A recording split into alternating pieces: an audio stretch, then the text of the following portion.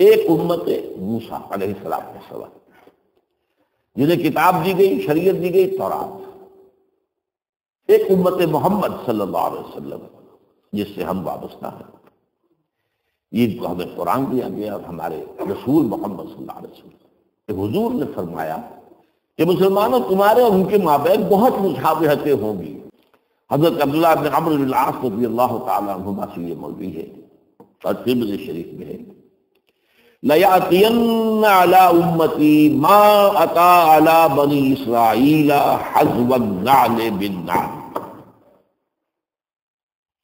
लाजमन आकर रहेंगे मेरी उम्मत पर भी वो सब हालात जो बनी इसराइल पर आए। बिल्कुल ऐसे जैसे एक जोड़े की दो जूतियाँ एक दूसरे से मुशाबे होती। इसमें फसाहत और बलागत का भी कमाल है, अदबियत का भी कमाल है सब इसमें। जूतों की मुशाबत जो है, ये आप गौर कीजिए कि जूतों को जूते रखे हुए हैं तो उनमें पंजे के रुख के हिसाब से फ़र्क नज़र आएगा तो यूँ होंगे। तलवे मिला दीजिए तो बाल बराबर का फ़र्क नहीं है। तो ज़ाहिर बात है कि दो हज़ार बरस का फ़सल है इन दो उम्मतों के मामले दो हज़ार बरस। तो हालात में तो फ़र्क तफावत तो होगा। इस उम्मत की तारीख चौदह सौ कबल मसीह से शुरू होती है। और इस उम्मत मोहम्मद की तारीख छह सौ बाबे मसीह से शुरू होती है, चौदह सौ जब छह सौ दो हज़ार से। तो मुशाबत है, लेकिन फ़र्क भी है। लेकिन ऐसा ही जैसे जूतों के दरमियान ऊपर से देखोगे तो फ़र्क नज़र आएगा, रुख के एतबार से। और अगर तलवे जोड़ दोगे, इन बिटवीन द लाइंस पढ़ोगे तो तुम्हें मालूम होगा हजम नाल अब आज का विरासत मौजूद क्या है? सबका उम्मत की तारीख का एक स्केच लीजिए। और उसमें दो उन पर आजाब के बड़े सख्त दौर आए उनका तस्करा। उसको कंपेयर कीजिए उम्मत मोहम्मद की तारीख से।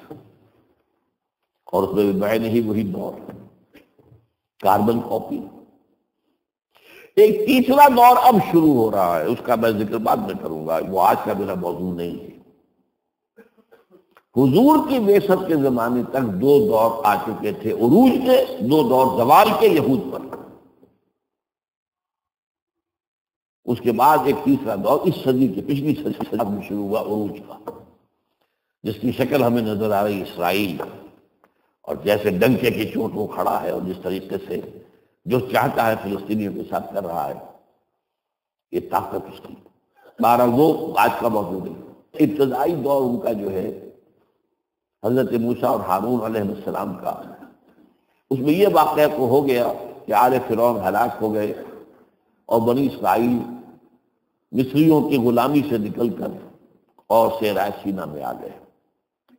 लेकिन इसके बाद जब उनसे किताल के लिए कहा गया, कोरा जवाब दे दिया। तो 40 बरस की सजा तो उन्हें नकम मिल गई कि अब ये अर्ज़ मुकदस जो है फिलिस्तीन, जो इन्हें हम अभी दे देते अगर ये मुजलीला दिखाते, अब ये चालीस बरस तक खराब रहे। चालीस बरस के बाद हज़रत योशा इब्न नून खलीफा अव्वल हज़रत मूसा के उनकी सरकर्दगी में उन्होंने जंग की और फिलिस्तीन फतह किया लेकिन जो सबसे बड़ी गलती की वो ये कि एक मरकजी हुकूमत कायम नहीं की, बारह कबीलों ने बारह हुकूमतें बना ली। कितना छोटा सा तो इलाका है, फिलिस्तीन को बहुत बड़ा मुल्क तो नहीं है। तो बारह हुकूमत। अब उनका आपस में झगड़ा, लड़ाई, दंगा, फसाद, एक दूसरे के खिलाफ, एक दूसरे की मदद और फिर एक दूसरे के खिलाफ मदद के लिए बाहर वालों से, गैरों से मुश्किन से मदद लेना। तो ये बहुत तबाह हो गए थे तकरीबन तीन सौ बरस बाद हज़रत मूसा की।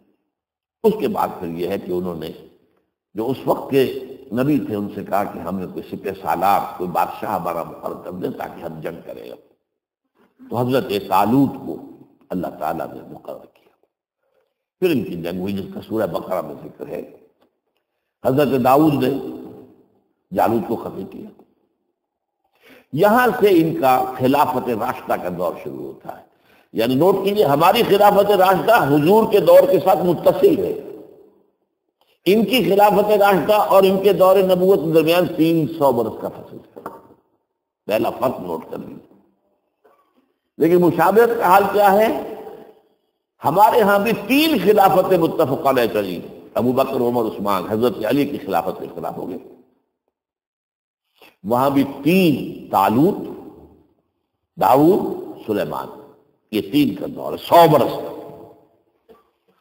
ये उनकी खिलाफत रास्ता उसके बाद तकसीम हो गई हज़रत सुलेमान के बाद, अब ये दो सल्तनतें बन। गई एक शिमाली थी, छोटी इसराइल, उसका नाम था सामरा, उसका दारुल खिलाफा। एक जनूबी बड़ी थी, यहूदा, यरूशलेम, उसका। सदर बाहर आ ये दोनों हकीमतें कुछ दूर चली, फिर जवाल अखलाकी आया। अखलाकी जवाल, एतकादी जवाल, अमली जवाल। उसके नतीजे में अल्लाह का अजाब नंबर एक। ये जो दौर है खिलाफत राशदा इनका, ये एक हज़ार कबल मसीह से नौ सौ कबल मसीह तक है। ये उल्टी गिनती चलेगी ना, अभी कबल मसीह चल रही है।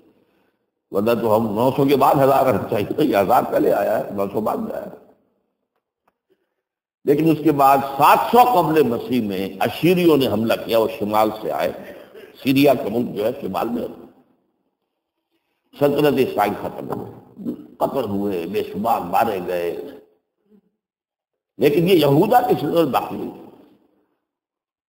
तकरीबन दो सौ साल बाद, पाँच सौ सतासी कबल मसीह में ये भी बर्बाद नबू का नज़र मशरक से आया। नोट कर लीजिए। सीरियन शिमाल से आए थे, नबू का नज़र। ये नमरूद था, नमरूद। ये जो इराक के बादशाह थे, ये नमरूद कहलाते थे।